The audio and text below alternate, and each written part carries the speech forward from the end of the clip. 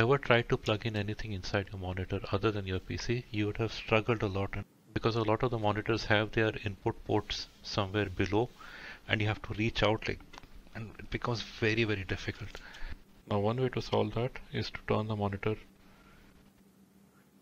upside down. Now the first time I saw this was uh, while watching a stream by someone called Grey FPS and I just asked him why does he actually have the monitor upside down? And it actually makes a lot of sense. ये देखो ये सब जो भी उसके ports है they are easily accessible. अब अगर मुझे यहाँ पर कुछ प्लग इन करना है तो I can do that and अगर कुछ और प्लग इन करना है तो I can do that as well and उसके साथ में I also get a flatter profile over here if you see so देखो ये यहाँ पर काफ़ी फ्लैट है.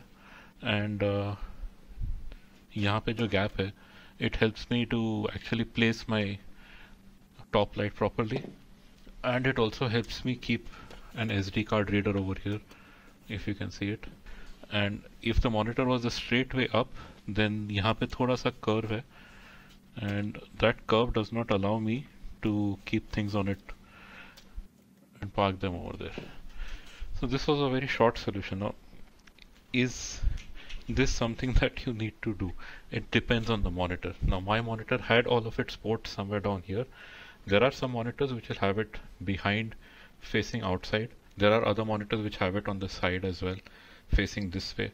So you do not need to do it in those monitors. Another thing that I would like to show you is obviously Windows mein jaake I had to flip the screen. But uh, other than that one thing that I faced was that my backlight is actually over here. Okay. So when I flipped the screen this side actually looked a bit darker than the top.